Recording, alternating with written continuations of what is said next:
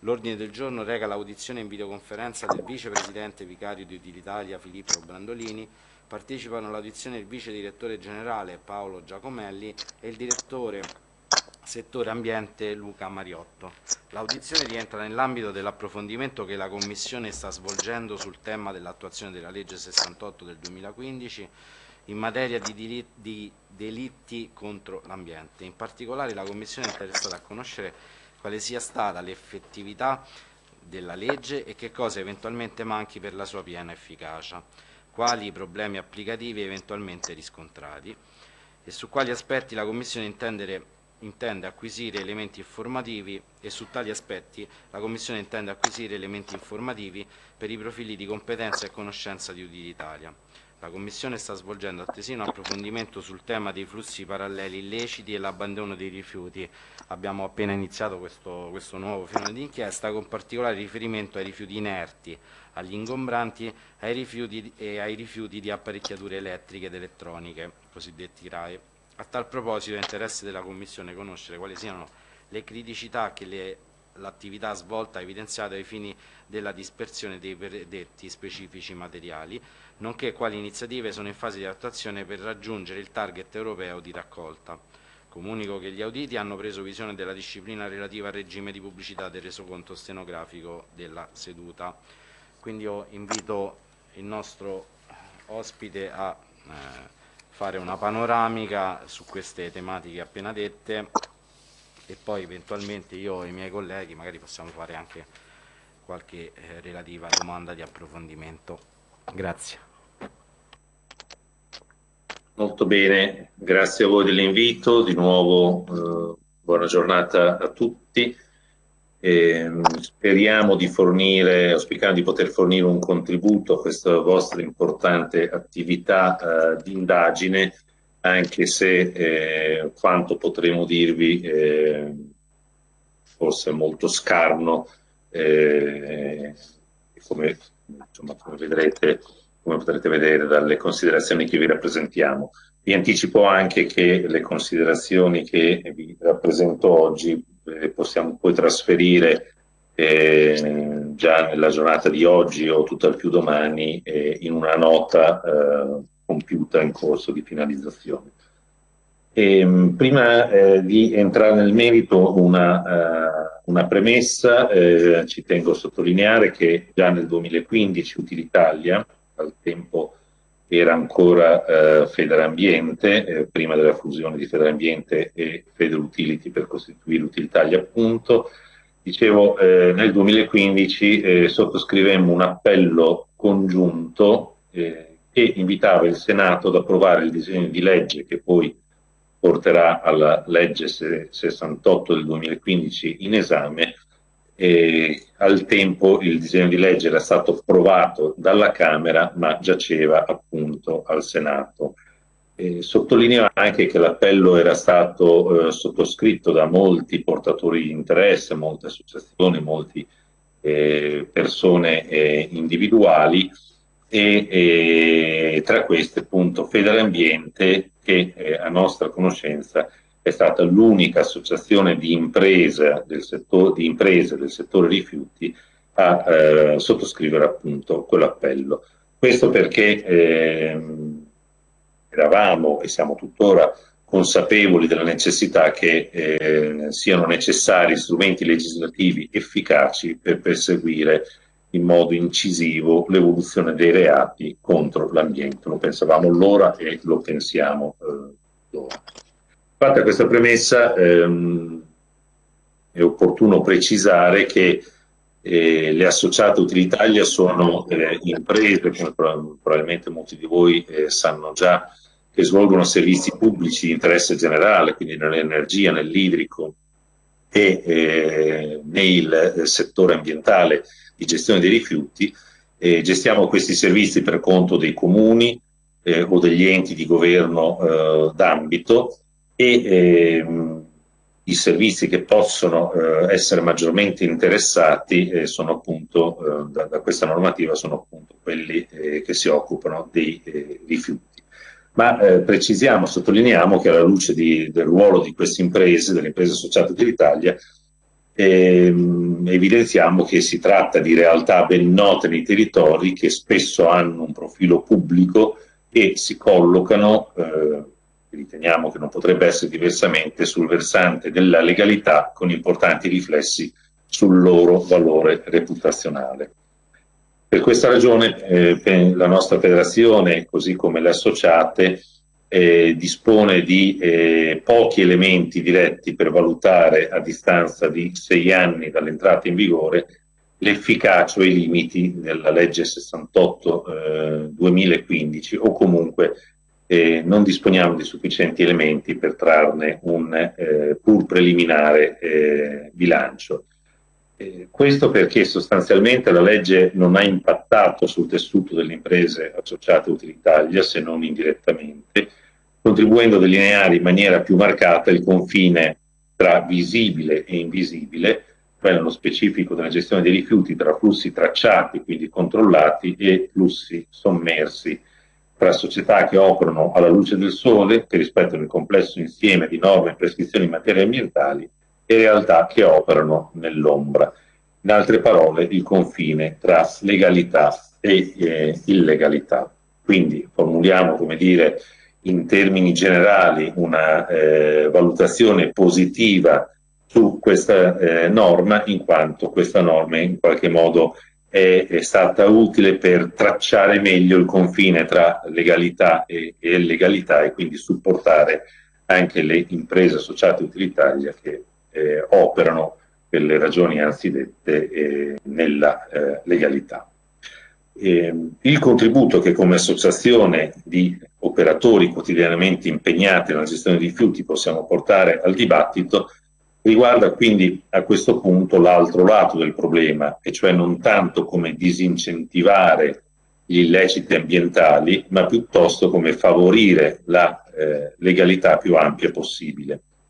Infatti, a partire dalla prospettiva privilegiata di chi opera, spesso svolgendo funzioni pubbliche, come si diceva, nella gestione dei rifiuti, Utilitalia ritiene che tra le misure più efficaci di contrasto all'illegalità ci siano quelle volte a rendere semplice il rispetto e l'adempimento delle regole, dando valore agli aspetti sostanziali e meno a quelli formalistici dello spirito della norma, con un positivo riflesso anche sui costi operativi.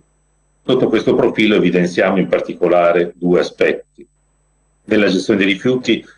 questo significa infatti eh, dotare il nostro Paese di impianti necessari a soddisfare il crescente fabbisogno di trattamento, riorganizzare la disciplina di settore rendendola più intelligibile, coerente e stabile nel tempo, semplificare gli iter autorizzativi e il regime dei controlli. Sappiamo che rispetto a questi ultimi temi c'è anche un importante impegno del eh, governo del Parlamento in questa fase anche legato al piano nazionale di ripresa e di eh, resilienza. Per fare eh, solo alcuni rapidi eh, esempi, sappiamo bene, abbiamo già avuto modo di discuterne in più eh, occasioni, eh, che il nostro Paese registra per quanto riguarda i rifiuti urbani un'apparente autosufficienza nel trattamento appunto dei propri rifiuti urbani, grazie a un consistente ricorso allo smaltimento in discarica o alla strutturale esportazione di, di rifiuti da regioni prive di impianti verso quelle dotate di impianti. Si tratta in questo caso di soluzioni gestionali che non sono ambientalmente sostenibili né convenienti. La carenza di impianti in alcuni territori crea difficoltà per chi produce rifiuti, fa aumentare i prezzi di trattamento e rende più oneroso sotto diversi profili gestire correttamente i rifiuti, come anche aumentare lo spazio di manovra per chi, approfittando del differenziale di prezzo tra gestione corretta e illecito ambientale, ne lucra ampi profitti anche a scapito di imprese in buona fede. Questo problema rischia eh, di amplificarsi in prospettiva per traguardare gli obiettivi che le direttive europee sull'economia circolare hanno fissato il 2035 e, e in questa prospettiva l'Italia dovrà dotarsi di molti impianti di trattamento sia delle frazioni oggetto di raccolta differenziata sia delle frazioni residue. Analoghe riflessioni si possono fare anche per quanto riguarda i flussi di rifiuti non urbani, ovvero di rifiuti speciali prodotti dalle imprese, dalle industrie, anche eh, pericolosi che eh, sono eh, ancor meno diciamo, sotto eh, l'attenzione del regolatore pubblico essendo affidati eh, al mercato e sappiamo che per certi flussi ci sono delle eh, carenze impiantistiche importanti, sappiamo anche dai, eh, dalla lettura dei rapporti eh, ISPRA eh, quanto sia importante e tendenzialmente crescente il ricorso al trattamento di flussi di rifiuti, in particolare pericolosi, in impianti eh, collocati all'estero. Lo stesso ministro eh, Cingolani recentemente rispondendo a un'interrogazione parlamentare, ha evidenziato il nesso tra responsabilità della pianificazione, carenza di infrastrutture nazionali di trattamento e rischio di illeciti. E d'altra parte è ovvio che se mancano soluzioni legali di trattamento, oppure se queste sono poche, distanti e costose, le organizzazioni criminali, come osserva il curatore del rapporto Ecomafia di Legambiente, hanno vita facile nel proporre servizi a prezzi stracciati rispetto a quelli di mercato. L'altro tema molto eh, rilevante rispetto dire, alla maggiore agibilità per la gestione legale dei rifiuti è quello legato alle, eh, alle norme, riguarda l'intelligibilità della norma. La normativa ambientale, quella in materia di rifiuti in particolare, è generalmente complessa, non sempre coerente e spesso molto stratificata per capire come si deve operare occorre cioè saper coordinare più norme, anche di carattere molto tecnico e in continua evoluzione se non contraddittorie. In questo contesto operare secondo il dettato della legge diventa difficile e spesso la mancanza di chiarezza lascia spazio all'arbitrarietà. È quindi evidente che una normativa più chiara, lineare, di facile accesso e interpretazione contribuirebbe a dare certezza, eliminare alibi, aiutando sia le imprese sia gli organismi di eh, controllo. Per fare due esempi che sicuramente sono ben noti ai componenti di, eh, della vostra commissione, potremmo citare il eh, caso della normativa sull'end waste o da ultimo il eh, timore che stiamo eh, esprimendo alle eh, forze parlamentari rispetto a un emendamento che in questi giorni è in corso di esame nell'ambito della conversione del decreto semplificazioni sulla definizione di rifiuti urbani che eh, se eh, accolta rischierebbe di eh, portare a una deassimilazione eh, di rifiuti urbani e quindi anche, oltre dire, a eh, intervenire nuovamente su un tema che era stato eh, affrontato nel corso dell'anno scorso in occasione del recepimento delle direttive afferenti al pacchetto dell'economia circolare, rischia di, ingenerare, di ingenerare eh, confusione, incertezza sui territori e soprattutto di eh, togliere eh, importanti flussi di rifiuti dalla gestione dei rifiuti eh, urbani e quindi eh, ridurne il controllo da parte delle amministrazioni locali e eh, regionali. Ehm, quindi fatte queste considerazioni, però ci tengo a ribadire che riteniamo molto, opportuno, molto opportuna l'attività della vostra eh, commissione, delle istituzioni più eh, in generale, eh, rispetto alla eh, verifica sull'applicazione della eh, norma 68 2015 e come sistema di imprese rinnoviamo l'auspicio che questa analisi sia volta ad aspetti quali l'effettiva capacità generale preventiva e non solo su altri punti più strettamente giuridici e tecnici della norma, pur importanti, quali quelli procedurali o, di coordinamento con il codice penale. Rispetto al tema degli abbandoni sono, eh, anche in questo caso ritengo di poter essere eh, molto eh, rapido, della, degli abbandoni di particolari flussi di rifiuti. Riteniamo eh, anche in questo caso molto importante l'attività che eh, state eh, svolgendo. Il fenomeno degli abbandoni dei rifiuti è un fenomeno che ci riguarda molto da vicino come eh, sistema di imprese che si occupa della gestione dei rifiuti urbani perché l'articolo 183,1 lettera B del 152 definisce come urbani i rifiuti di qualunque natura o provenienza giacenti su strade e aree pubbliche o strade e aree private comunque soggette ad uso pubblico o sulle spiagge marittime o acquali e sulle rive dei corsi d'acqua. Questo significa che la gestione dei rifiuti abbandonati rientra nelle competenze dei comuni e quindi delle imprese che per conto loro gestiscono il ciclo dei rifiuti urbani, con anche i eh, costi che eh, si riverberano sulla eh, gestione complessiva appunto dei rifiuti urbani o tramite tariffa o tramite specifiche poste che i comuni devono eh, accantonare. L'esperienza maturata nell'ambito dell'erogazione di eh, questi servizi suggeriscono l'importanza di alcuni fattori funzionali a prevenire e gestire al meglio il fenomeno degli abbandoni. Eh, ne eh, elenco alcuni eh, molto rapidamente eh, che poi potranno essere ulteriormente approfonditi.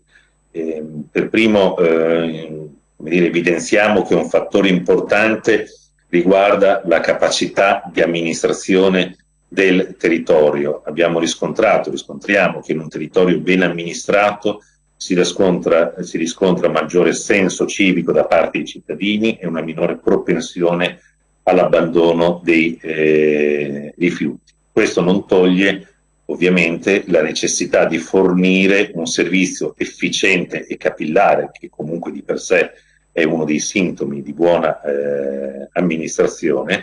il cittadino e alcune tipologie di piccole e medie imprese, ditte individuali, devono avere la possibilità di conferire in maniera agevolata eh, tutti i rifiuti, anche tipologie più particolari, eh, diciamo meno convenzionali rispetto alla classica raccolta eh, e raccolta differenziata dei rifiuti eh, urbani. Spesso la disponibilità di un servizio eh, gratuito, comunque fornito in convenzione di facile accesso, capillarmente distribuito sul territorio è un importante elemento di prevenzione del fenomeno degli abbandoni. Questa se vogliamo una considerazione di carattere generale che possiamo declinare anche in maniera più eh, specifica, evidenziando per esempio l'importanza del, eh, dei centri di eh, raccolta. I centri di raccolta garantiscono eh, un servizio eh, al di fuori degli orari eh, calendarizzati per le raccolte domiciliari, per esempio, o anche per raccogliere particolari tipologie di eh, rifiuti che non eh, vengono raccolti sul territorio o eh, attraverso le raccolte domiciliari, appunto, come possono essere quelli che prima si citava, i piccole quantità di inerti per le cosiddette attività fai da te nell'ambito delle abitazioni o eh, gli stessi rifiuti da apparecchiature elettrico elettronico o eh, determinati flussi di eh, ingombranti. Quindi i centri di raccolta integrano sia dal punto di vista quantitativo che qualitativo i eh, servizi di eh, raccolta di rifiuti dei territori e sicuramente una loro maggior diffusione eh, eh, può contribuire a eh, prevenire fenomeni di abbandono o di, flusso, o di gestione non corretta di particolari flussi di rifiuti.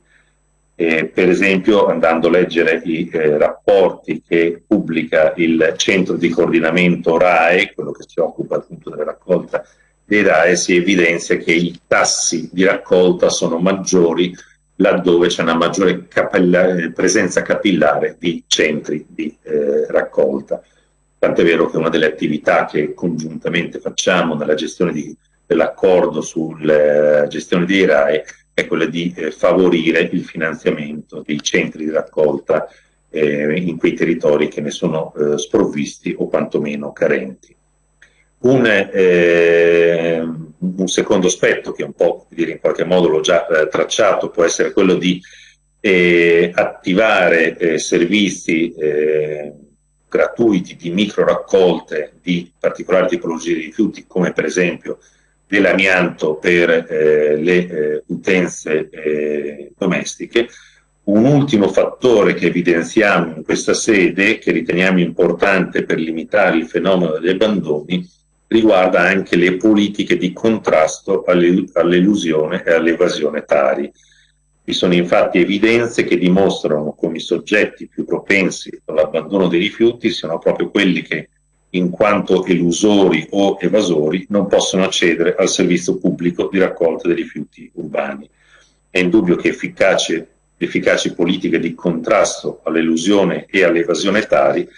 avrebbero benefici anche sul fronte della prevenzione dell'abbandono dei rifiuti. Un'ultimissima considerazione a titolo di, di esempio per tornare sul tema eh, dei RAE eh,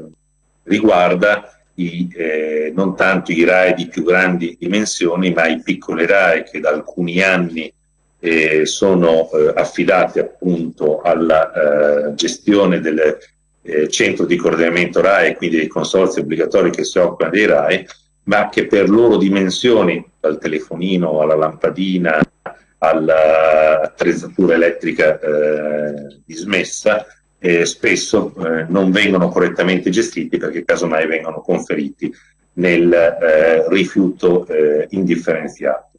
Ecco, sotto questo profilo è importante integrare i servizi di raccolta che svolgono le aziende associate Utilitalia con altre modalità di raccolta, per esempio attraverso eh, opportunità offerte nei punti vendita o eh, nelle, eh, nei supermercati della grande eh, distribuzione eh, attraverso il rapporto eh, del, eh, dell'1 contro 0, ovvero favorendo, così come si fa in tante realtà per i medicinali scaduti presso le farmacie, favorendo presso appunto i punti di vendita la raccolta di questi eh, piccoli RAE che eh, difficilmente verrebbero conferiti nei centri di raccolta perché come dire, centri di raccolta, nei centri di raccolta si accede per eh, importanti volumi, eh, generalmente per importanti volumi di rifiuti. E naturalmente sotto questo profilo è eh, importante anche il ruolo dell'informazione ai cittadini, dell'informazione anche agli studenti, pensando anche eventualmente a iniziative che coinvolgono stesse, eh, gli stessi istituti scolastici. Questo è quanto, vi ringrazio l'attenzione, il sottoscritto e i colleghi Mariotte e Giacomelli sono a disposizione per eventuali approfondimenti. Ok, se c'è qualcuno che deve intervenire, eh, attualmente non c'ho nessuno, ok. Eh, allora, mm, eh, innanzitutto alcune domande. Eh, ah, si è prenotato Zolezzi, prego onorevole Zolezzi.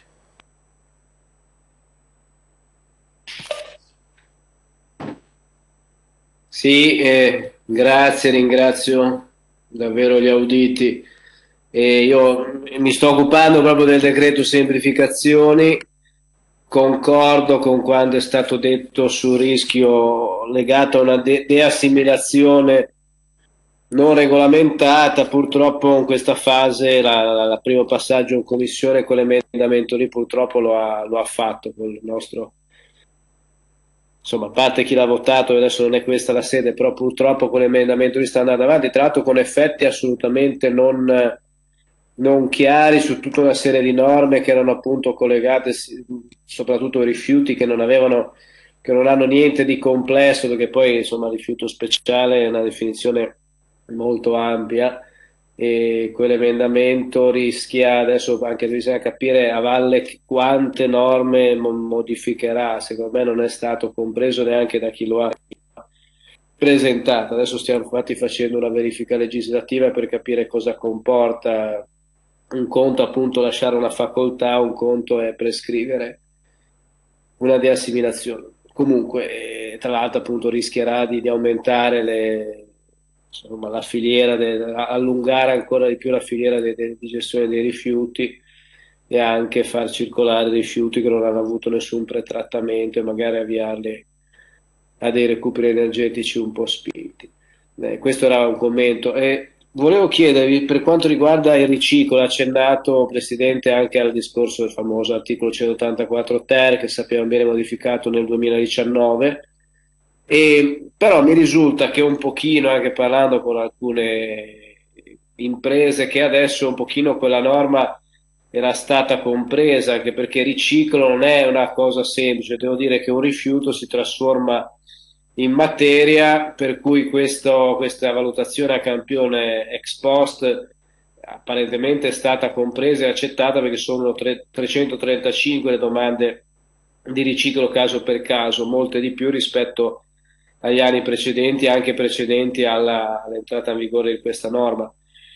Per cui volevo capire se eh, a voi risulta qualche cosa di, di, diverso dal punto di vista operativo, non solo filosofico, cioè capisco che una burocrazia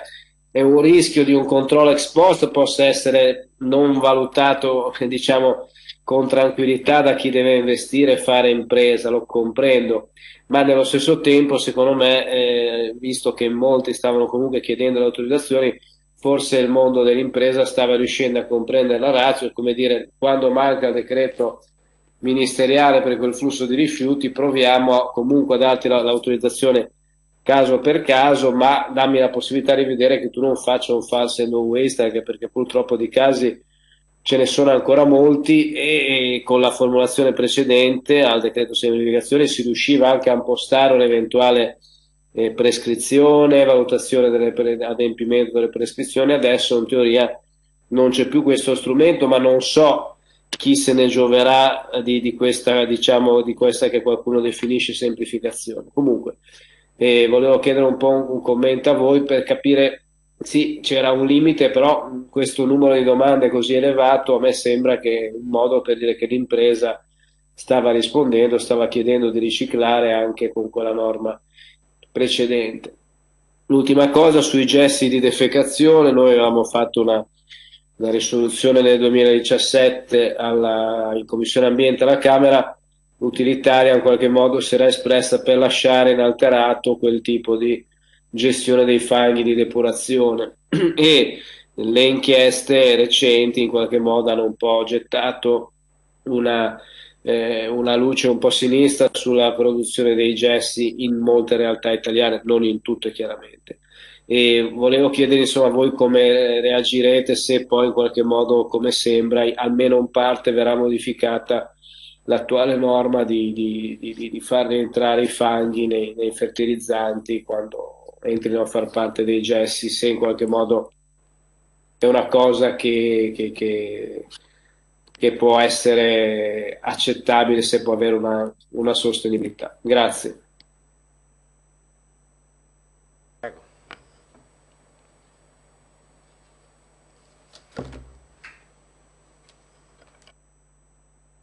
Prego, prego. Presidente, rispondiamo di volta in volta o sì, volta. alla fine? Ah, ok. Allora. Grazie, grazie all'onorevole eh, Zolesi. Eh, molto rapidamente sui tre eh, punti. Eh, sul primo punto, eh, naturalmente siamo eh, a disposizione anche al di fuori diciamo, delle, di questo tipo di riunioni come federazione, il sottoscritto come i colleghi collegati per fornire valutazioni rispetto all'impatto della nuova norma della, no, dell'emendamento che se fosse definitivamente approvato eh, produrrebbe eh, sulla gestione dei rifiuti o riteniamo che possa produrre sulla gestione dei eh, rifiuti. Segnaliamo che la stesura, così come l'abbiamo letta e interpretata fino a questo eh, momento, eh,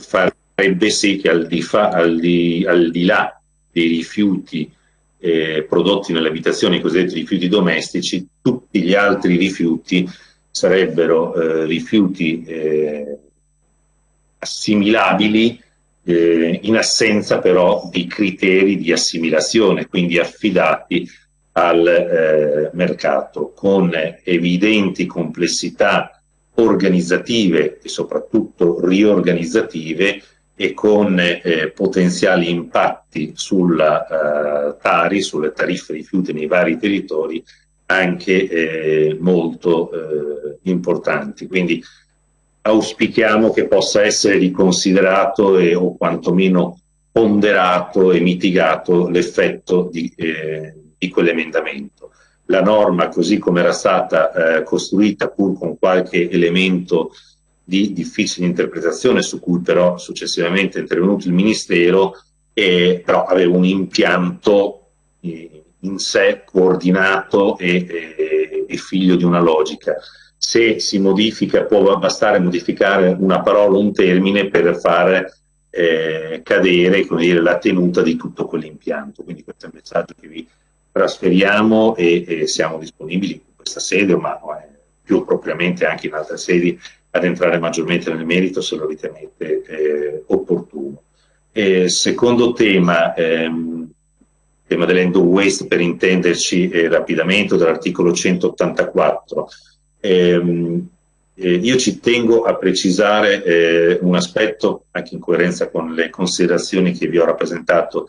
all'inizio. Eh, il sistema di imprese eh, che aderisce a Utilitalia è un sistema di imprese che è fortemente eh, favorevole a, eh, affinché ci siano dei controlli eh, sulle eh, attività di gestione dei eh, rifiuti, eh, controlli seri, controlli rigorosi e non controlli per dire che si è fatto il controllo. Eh, questo perché, come dicevamo, dicevo prima, eh, riteniamo di essere eh, imprese che operano nella legalità e la legalità favorisce sicuramente le imprese, eh, le imprese sane. E eh, in un contesto in cui il rifiuto eh, passa di mano in mano perché sono necessarie varie fasi di raccolta, gestione, trattamento, eh, poter contare su controlli efficaci che garantiscono eh, coloro che legalmente eh, operano in una fase di gestione del rifiuto sicuramente eh, aiuta appunto le imprese eh, del nostro eh, sistema. Fatta questa considerazione noi manteniamo le forti riserve sul fatto che ci siano dei controlli non tanto sull'attività, anzi non sull'attività, quanto su eh, quello che eh, è stato diciamo, il percorso nell'iter autorizzativo, perché questo rende incerto eh, appunto l'iter eh, autorizzativo sia nei tempi sia negli esiti e quindi questo crea sicuramente eh, un'incertezza che eh, può in qualche modo dissuadere l'investitore, eh, l'impresa a investire dei, eh, dei soldi su eh, una determinata eh, iniziativa. Quindi eh, ci, ci, piace, nel, forse è diventato uno slogan, però è anche una necessità, ci piace pot poter fruire di percorsi semplificati, chiari e, e anche sufficientemente rapidi la rapidità eh, non deve ovviamente limitare la possibilità di un'istruttoria completa eh, ed efficace, ma la rapidità deve cercare di rendere efficiente il processo e, ehm, e una volta avuta l'autorizzazione poter sviluppare l'iniziativa su cui, come dicevo prima, riteniamo importanti che ci siano dei controlli, perché la distinzione che dobbiamo fare è tra corretta gestione dei rifiuti, legale gestione dei rifiuti e non corretta gestione dei rifiuti e illegale eh, gestione dei rifiuti. Considerazione di questo genere eh, la posso utilizzare anche sul terzo argomento, ovvero quello dei gessi di eh, defecazione. I gessi di defecazione sono eh, un eh, end waste di fatto, eh, non solo di fatto, anche nelle,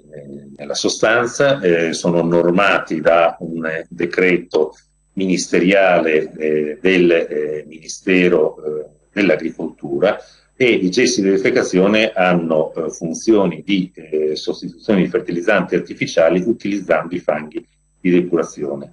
E come diceva lei, onorevole Zolesi, ci sono gestioni corrette e non gestioni corrette riteniamo che i gessi di defecazione siano una opportunità interessante e importante eh, non solo per gestire i fanghi ma anche per l'agricoltura perché restituiamo contenuto eh, organico eh, ai nostri terreni che ne hanno sempre più eh, bisogno. Il eh, legislatore, l'autorità competenti nei controlli devono riuscire a perseguire quelle gestioni che non sono eh, legali che non sono eh, corrette. Per fare un esempio, senza entrare troppo negli aspetti eh, più eh, direttamente tecnici, negli impianti dei gessi di, eh, che ehm, producono gessi di defecazione da, da fanghi devono entrare fanghi che già di per sé hanno le caratteristiche per andare direttamente in agricoltura. Questo è quanto viene eh, nelle realtà diciamo, più eh, avanzate e che non hanno mai avuto problemi sotto eh, questo profilo, non devono entrare fanghi che non hanno le caratteristiche adeguate perché eh, allora sì che a quel punto si può creare un eh, danno all'ambiente e ai terreni facendo delle operazioni eh, non corrette. Quindi si tratta di stabilire bene se le norme si ritiene che non, non siano sufficientemente chiare e precise, si, si può intervenire, eh, le caratteristiche del, dell'input, ovvero del fango in ingresso all'impianto che produce il gesso di eh, defecazione, tutte quelle che devono essere le fasi di eh, controllo, anche le fasi diciamo, di tracciabilità, di verifica ex post e quindi le destinazioni, i terreni cui sono destinati eh, i gessi, ma riteniamo un errore eh, limitare o, eh, o, vietare del tutto eh, questa opportunità diciamo, di processo, questa opportunità tecnologica rispetto al eh, trattamento eh, dei fanghi. Muovendo da una considerazione, poi Presidente mi prendo altri 30 secondi, ma non voglio monopolizzare sul tema dei fanghi, però il tema dei fanghi è un tema molto delicato, dobbiamo essere consapevoli che nei prossimi anni, quando saranno portati a regimi processi di depurazione, ci saranno maggiori quantità eh, di fanghi da eh, trattare. I fanghi per loro natura non possono, non devono, è inopportuno che vengano trattati, smaltiti in discarica per, eh, essendo eh, materiale eh, biogenico, biodegradabile, con, quindi provocano impatti nella gestione di discarica, ma ci sono normative anche nazionali molto serrate su questo aspetto. Quindi le, eh, la gestione dei fanghi non può che avvenire eh, o attraverso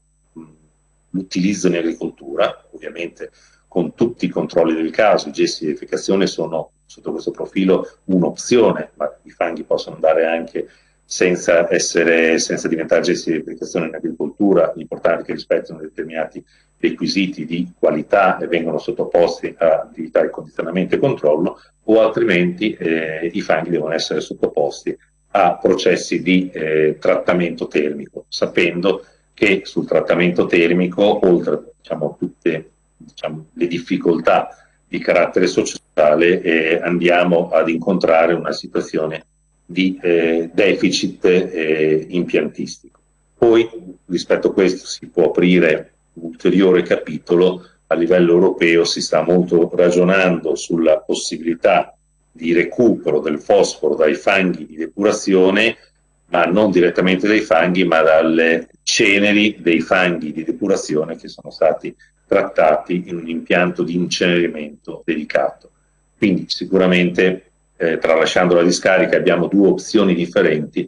che noi riteniamo debbano e possano essere perseguite eh, entrambe. Ma sul fronte diciamo dei controlli e delle norme rigorose eh, noi eh, siamo eh, perfettamente eh, allineati e d'accordo.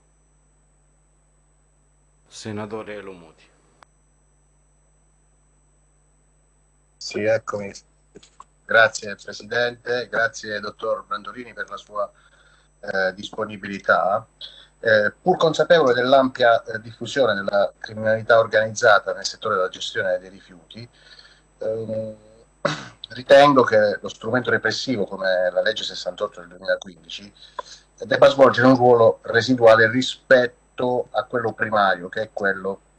appunto della, eh, della prevenzione degli illeciti ambientali. Lei ritiene che eh, la 68-2015 costituisca l'unico mezzo di repressione eh, delle attività illecite nel settore dei rifiuti eh, o che tale strumento possa essere, diciamo così, affiancato anche da, dall'attività di prevenzione tesa a sensibilizzare le imprese verso eh, il rispetto della legalità in materia ambientale. E in caso di risposta eh, affermativa eh, quali sono le iniziative che Utilitaria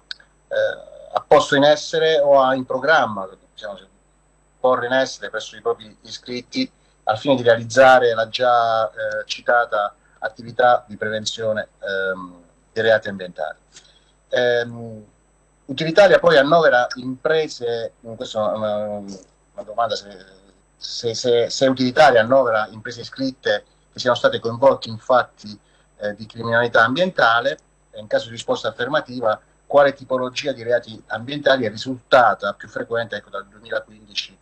ad oggi. E, mh, una domanda un po' più specifica territoriale, cosa mi può riferire circa la situazione eh, specifica della Basilicata relativamente ai quesiti precedenti? Grazie. Dottore.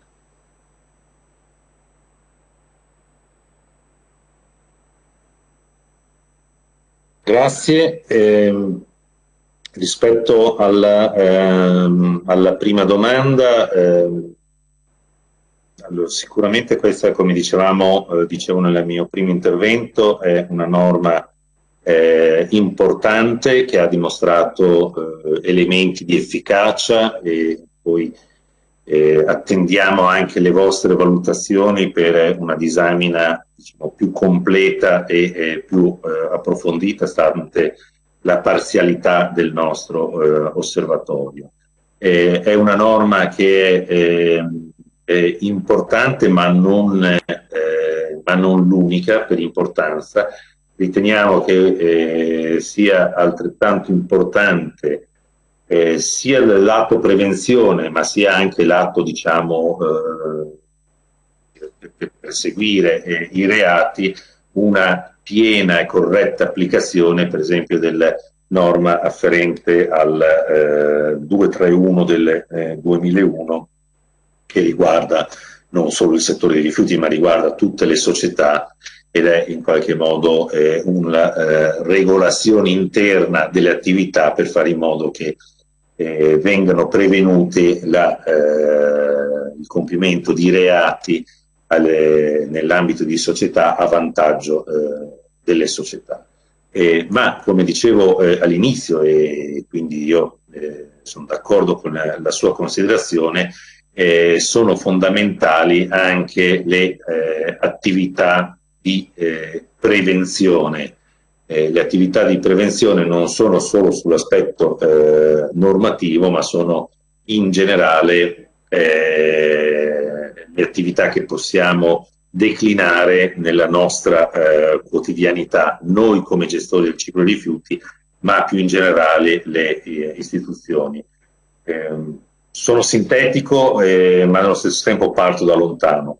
Per esempio, è molto importante eh, per perseguire la legalità che ci sia innanzitutto da parte delle istituzioni, ma nel nostro piccolo anche noi gestori, un rapporto franco e trasparente con i cittadini, con i cittadini amministrati, con i cittadini utenti, nel senso che i cittadini dobbiamo rappresentare quelle che sono correttamente, sulla base di conoscenze tecniche e scientifiche, quelle che sono le opzioni eh, disponibili. Purtroppo nel corso degli anni ci sono stati dei messaggi semplificati o superficiali che hanno teso a concentrarsi su un singolo aspetto nella gestione dei rifiuti, tralasciando gli altri, lo dico senza alcun intento eh, polemico, critico nei confronti di eh, eh, alcuno, ma proprio per sottolineare come spesso il dibattito pubblico sotto questo profilo eh, sia stato eh, dannoso eh, ci siamo concentrati sulla raccolta differenziata eh, dei rifiuti e spesso è passato un messaggio che basta fare una buona raccolta differenziata per fare una buona gestione dei rifiuti.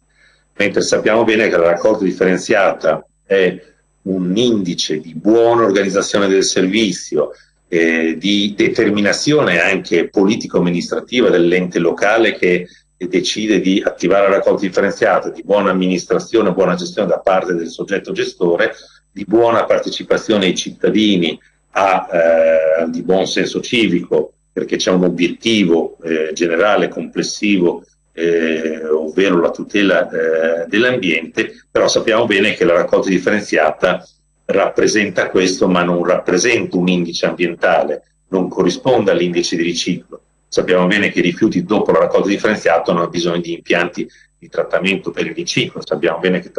producono dei residui che necessitano di impianti per il loro trattamento. E quindi dobbiamo eh, in qualche modo eh, raccontare, rappresentare ai cittadini o ai nostri clienti utenti, se parliamo delle imprese, eh, che il ciclo di gestione dei rifiuti comprende varie fasi come anche quella un po' più scomoda, un po' più difficile sotto il profilo dell'acquisizione del eh, consenso degli impianti, non sono solo gli impianti diciamo più eh, dire, su cui maggiormente si concentra l'attenzione come può essere un termovalorizzatore o una discarica, ma anche gli impianti di eh, riciclo come possono essere gli impianti per il trattamento del eh, rifiuto organico su cui spesso si concentrano eh, attenzioni negative da parte dei cittadini, ma perché in generale il sistema istituzionale non è stato efficace nello spiegare eh, appunto, le scelte che vanno compiute per una corretta gestione dei rifiuti. Per fare un esempio banale, dobbiamo saper spiegare ai cittadini che se fanno la raccolta differenziata del rifiuto organico o a Roma o a Napoli, non, non cito due esempi eh, a caso eh, fanno una buona cosa, ma il loro eh, impegno viene in parte eh, sminuito dal fatto che quei rifiuti in gran parte non sono trattati vicini al luogo di produzione e raccolta, ma vengono trattati in impianti del nord-est eh, del paese. Questo significa che la gestione di quei rifiuti produce impatti in termini ambientali, oltre che economici, eh, importanti e quindi riduce diciamo, il beneficio dato dall'attività eh, di raccolta differenziata. Quindi un primo tema di informazione, educazione, sensibilizzazione corretta e, e trasparente, poi ovviamente come dire, ci vuole una buona organizzazione de, eh, dei servizi e ci vuole un sistema impiantistico che sia in grado di gestire i rifiuti secondo quelli che sono i fabbisogni ma che sia anche, come dicevo prima, meglio distribuito sul territorio nazionale. Parliamo sempre di rifiuti urbani, ma ovviamente riflessioni analoghe possono riguardare anche i rifiuti eh, speciali.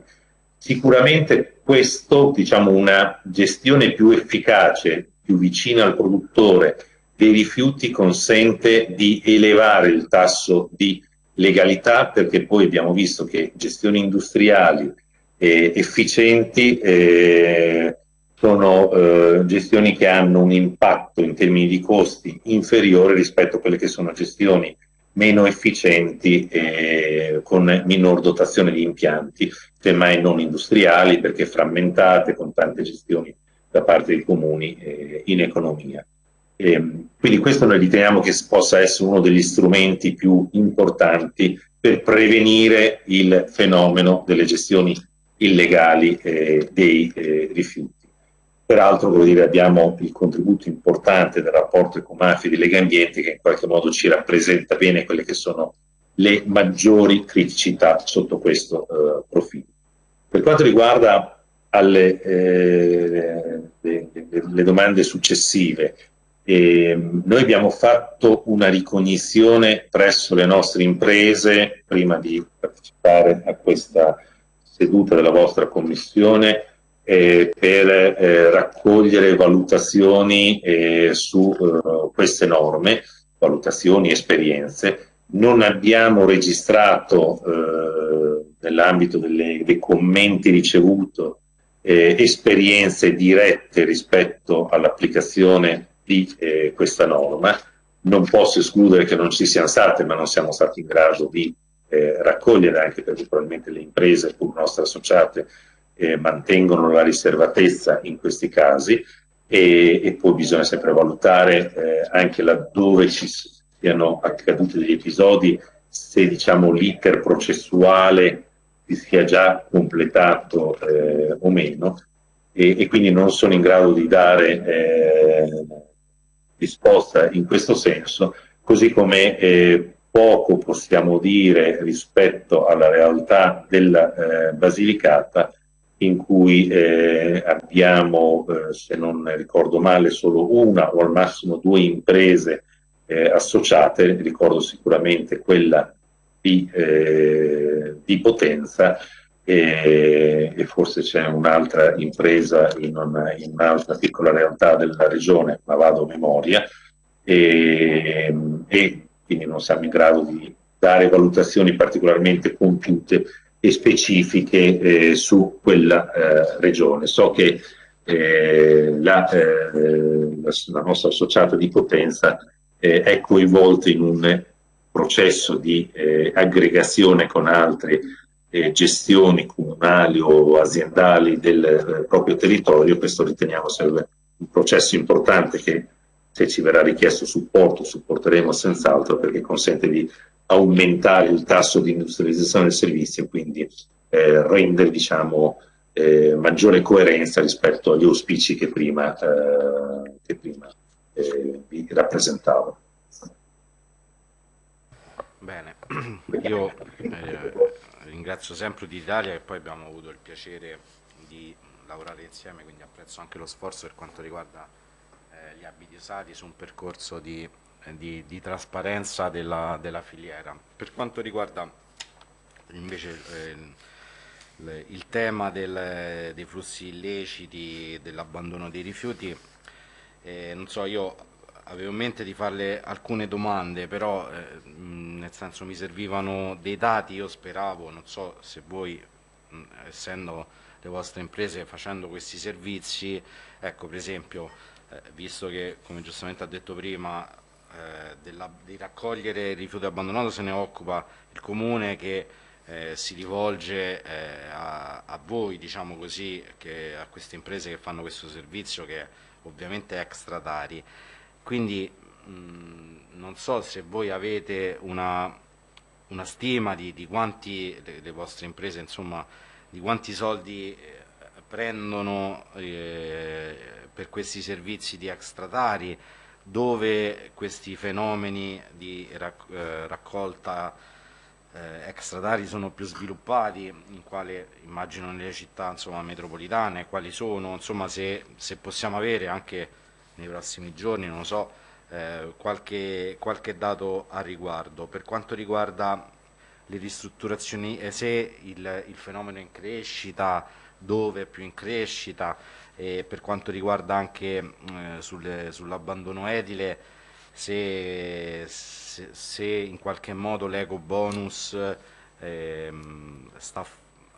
aumentando, favorendo questo, questo fenomeno, se ancora è presto presto per dirlo. Eh, io nella, nella, legge delega europea del 2018 avevo fatto introdurre una sperimentazione che credo che sia appena partita, non so se ne siete a conoscenza, per esempio che dà la possibilità ai, ehm, a chi vende il materiale edile di eh, eh ricevere quando l'attività commerciale viene a comprare questo materiale di ricevere a titolo gratuito e senza neanche tanti controlli, senza i controlli di, eh, fiscali sulla, sulla, sulla, regolarità o meno del, dell'impresa edile, questo appunto proprio per non scoraggiare diciamo così, nessuno,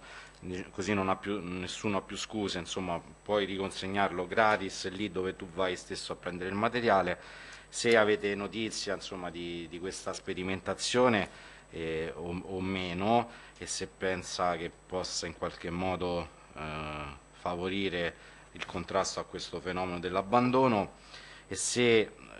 ipotizzare anche eh, nuove norme per quanto riguarda anche una de demolizione selettiva in modo tale da favorire eh, la diversificazione dei materiali e quindi la corretta eh, gestione filiera insomma se in questo modo state, mh, è ipotizzabile fare, fare qualcosa per contrastare questo fenomeno.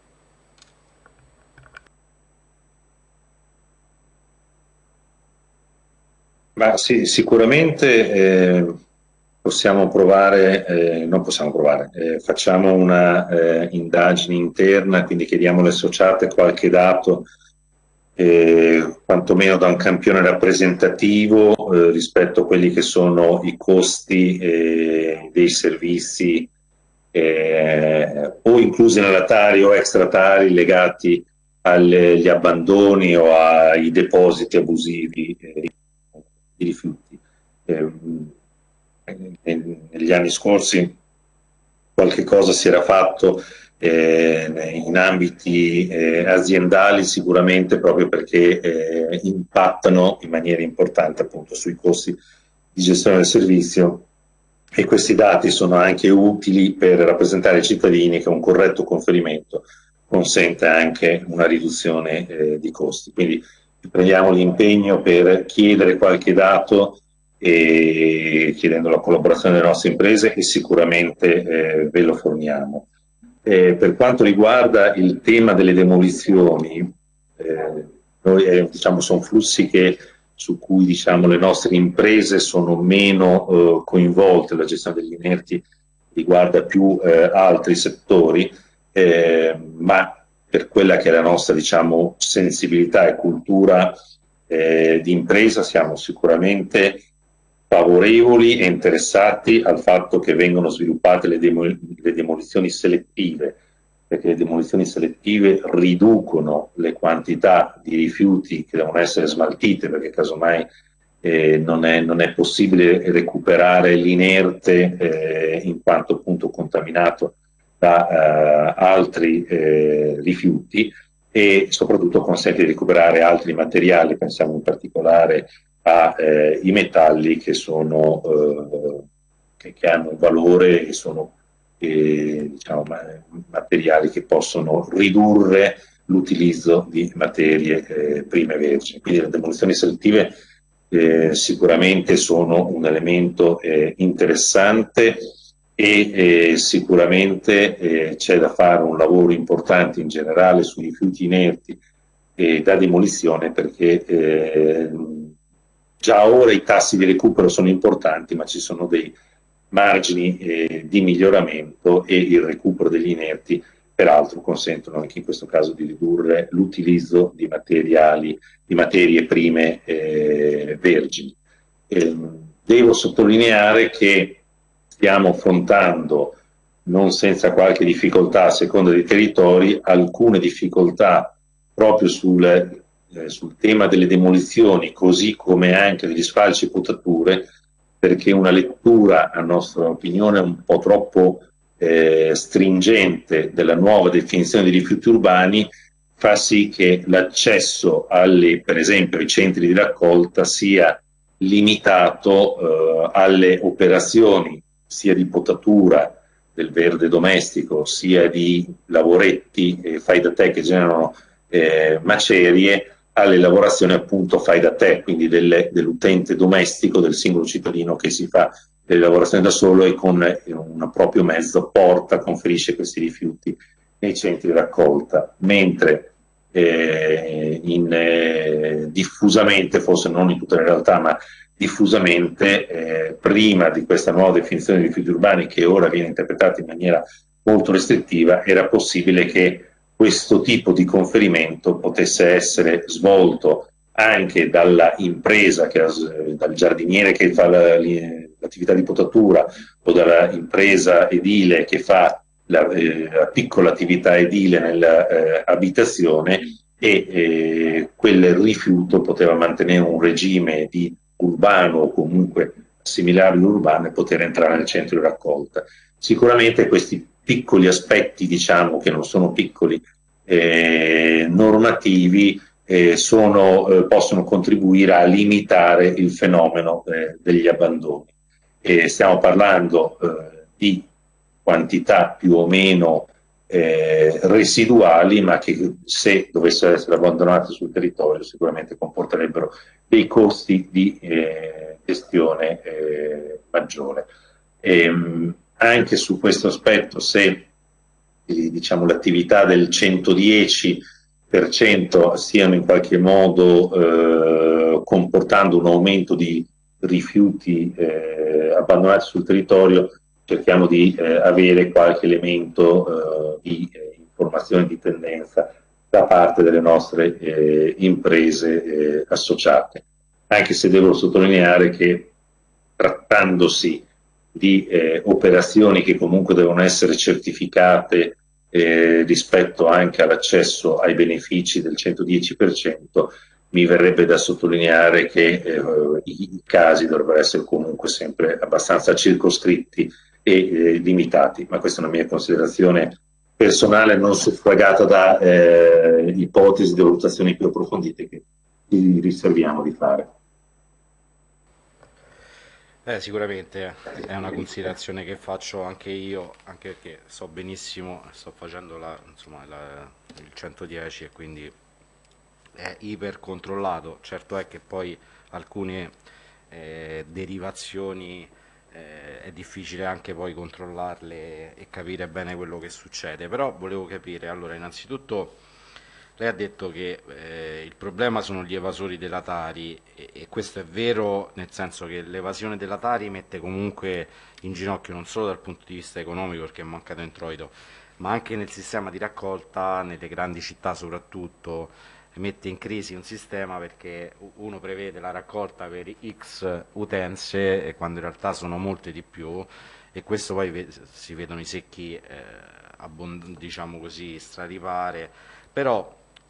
eh, visto che i centri di raccolta le isole ecologiche ne, perlomeno credo che in tutta Italia sia così sono dedicati solo all'utenza domestica e se io quando vado a, a, portare un materasso qualsiasi, un ingombrante in un, in un, centro di raccolta, non è che mi chiedono, non so se è un'anomalia o un caso, non mi chiedono nemmeno il nome, cognome, ehm, se, ho pagato, se ho pagato la Tari. Quindi forse questi evasori mh, mm, non credo che eh, siano un problema in questo, in questo caso specifico probabilmente il problema più grande sono appunto queste piccole e medie imprese che spesso e volentieri non fatturano, che, che, poi quindi hanno la necessità, perché nei, nei centri di raccolta non possono comunque andarci, sono a nero, quindi credo che il problema più grande, il problema più grande sia questo. Ora, noi come finale d'inchiesta diciamo che è la prima volta che, che una commissione si, si occupa di un tema che è molto complesso, quindi faremo questo tentativo di fotografarlo perlomeno e capirlo il più possibile e cercare di trovare eventuali soluzioni. Ecco perché, ripeto, è importante eh,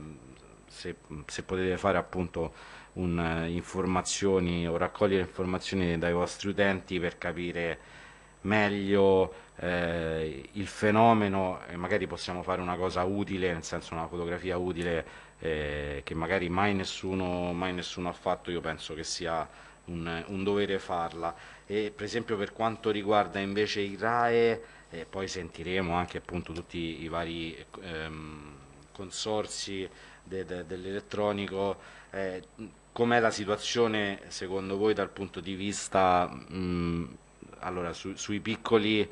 eh, sui piccoli RAE? Eh, nessuno sa, abbiamo fatto noi la legge, quella dell'1-0, che uno in teoria, anche senza comprare un altro telefonino, un altro piccolo oggetto, può andare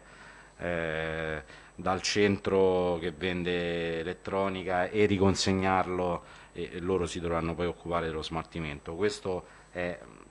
una legge che abbiamo fatto noi,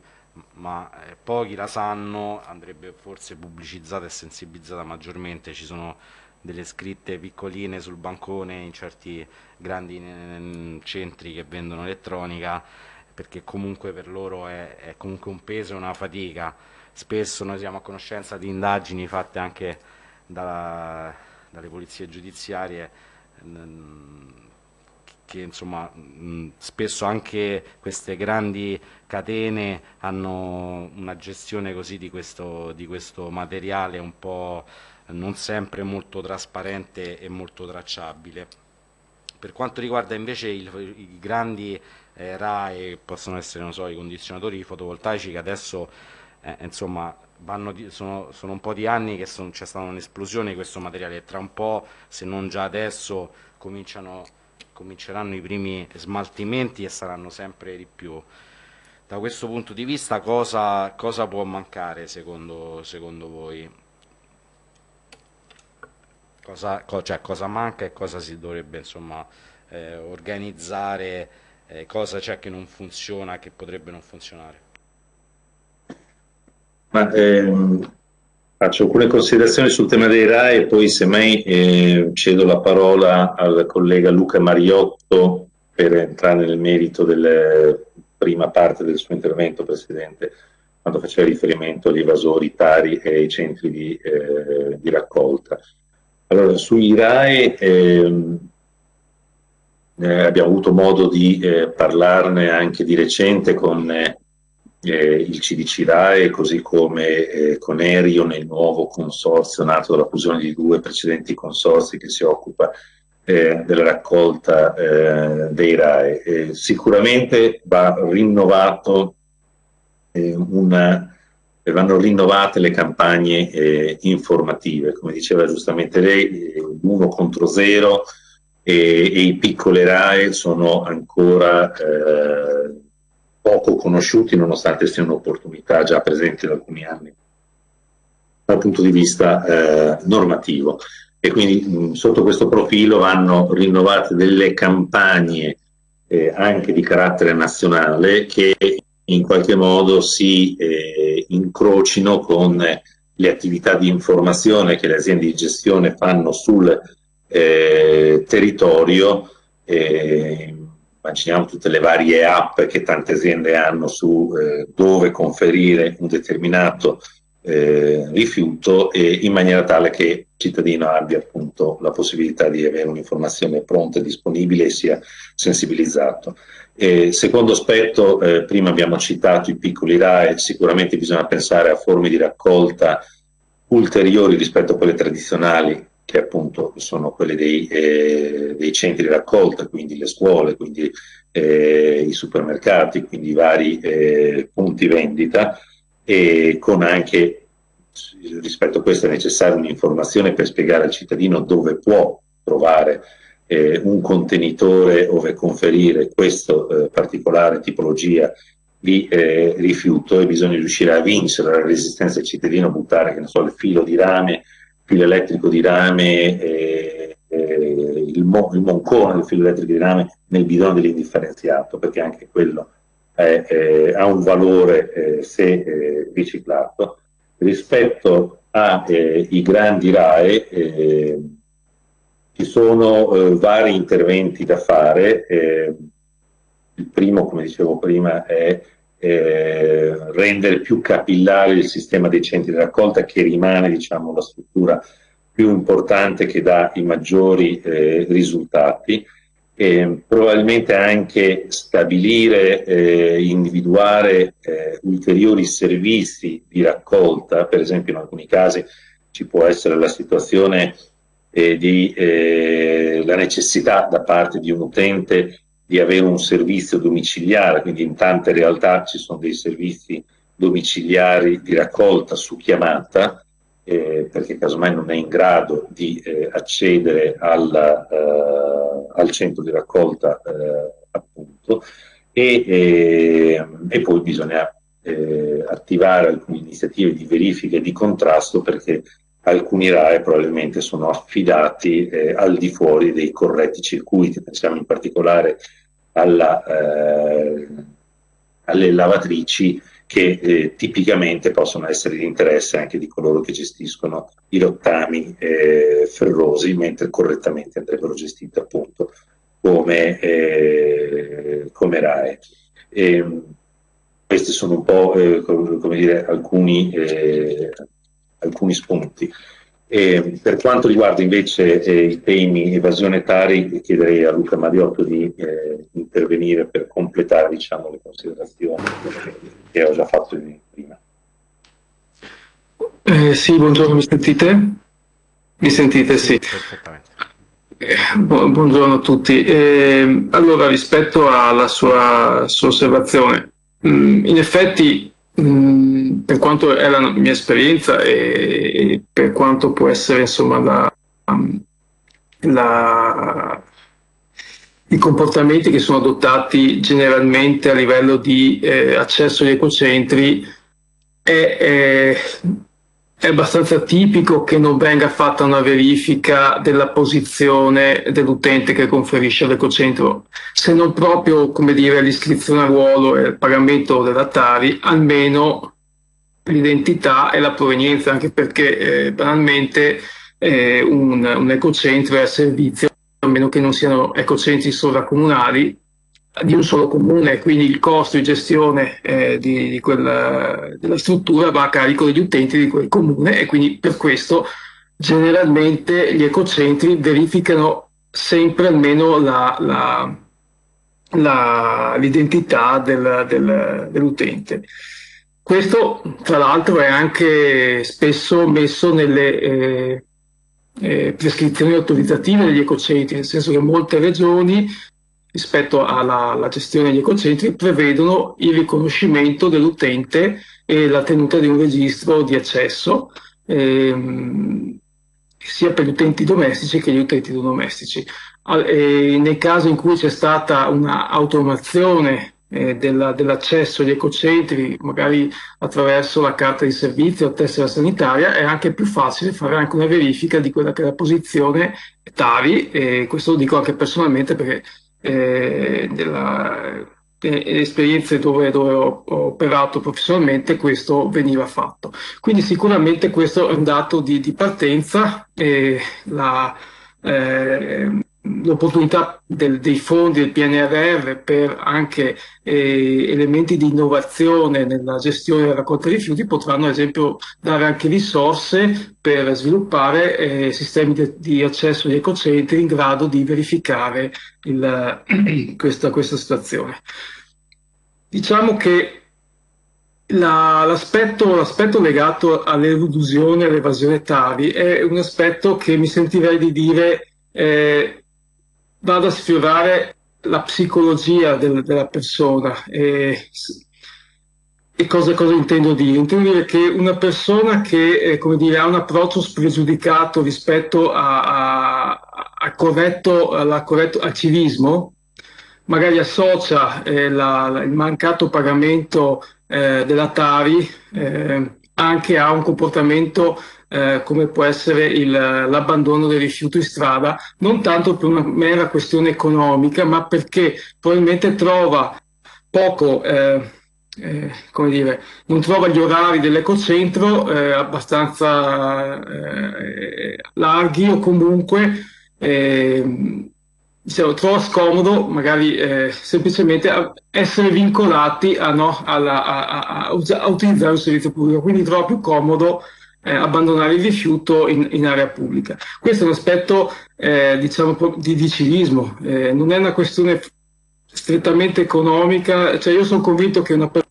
che un utente, una famiglia che ha dei problemi a pagare la Tari per problemi di, dire, di, di, di bilancio familiare, eh, però siano i primi come, anche a, eh, che rispetto a un territorio non abbandonerebbero mai il rifiuto per strada. Quindi le due cose sono alle volte collegate, ma eh, io insisterei molto sul civismo. Quindi non necessariamente eh, siamo, e sono convinto che l'offerta di un servizio comodo sia sufficientemente comodo per quella parte eh, di eh, diciamo, quella parte di utenti che comunque sono insofferenti di, di, qualunque cosa che vada un po' a vincolare la propria libertà di, di, di movimento e di, espressione. Però comunque, tornando alla sua, alla sua domanda, credo che, eh, che la, il riconoscimento e, la, e, l'accesso agli ecocentri sia come dire, doveroso da parte dei comuni non, non, per, appunto per una verifica e un controllo di questi, di questi ehm, degli accessi. Poi dal punto di vista, ecco, se posso integrare una, eh, un, quello che diceva il Presidente Brandolini rispetto anche ai RAE, eh, sicuramente l'1 contro 0 è, è, importante e poco, è poco conosciuto, però eh, come dire, in questo, in questo mondo le cose vanno avanti più velocemente di quanto siamo come dire, in grado spesso di, di fare fronte. Quindi esiste la vendita online, esistono eh, ormai eh, sistemi di, di, di, di, acquisto che vanno al di là di quelli che sono i tradizionali, i tradi- soprattutto per i piccoli RAE, che eh, poi da un punto di vista ambientale hanno una pericolosità proprio per i componenti eh, comunque elevata. Quindi da questo punto di vista eh, studiare soluzioni che permettano il, eh, di intercettare questi, quanti, questi, quantitativi, questi materiali sono assolutamente eh, essenziali. Eh, io ricordo la, che comunque il centro di coordinamento RAI aveva anche attivato dei, eh, delle, dei, canali di raccolta, per esempio ricordo l'iniziativa ehm, la, la, di raccolta di RAI nelle scuole, eh, cioè quindi di andare a semplificare quanto più possibile il, il, e, e i servizi offerti ai cittadini. Bisogna forse eh, bisogna lavorare di più e sicuramente le, le aree metropolitane sono quelle più eh, delicate perché almeno la nostra visione del paese è che dove eh, la, la, la, raccolta è più strutturata e i risultati sono, eh, come dire, più, sono migliori dal punto di vista dei, dei numeri, della qualità differenziata, tutto il complesso della gestione dei rifiuti dall'atto abbandono è, è sicuramente eh, migliore. Quindi diciamo che il, una buona qualità di servizi è un elemento indispensabile e un volano per migliorare quello che poi è anche il comportamento dei cittadini.